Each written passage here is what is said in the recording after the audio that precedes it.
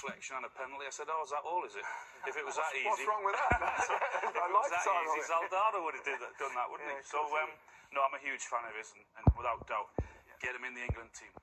Now, Philip, you watched that game closely, and, and you were slightly alarmed about the form of uh, uh, another possible England player, uh, Carl Walker. Yeah, I, I was a little bit. I think I've watched Spurs the last two games. They've conceded six goals, and a lot of the problems have come down Spurs' right hand side with Kyle Walker. And I think it's, it's a combination of positional play, bad concentration,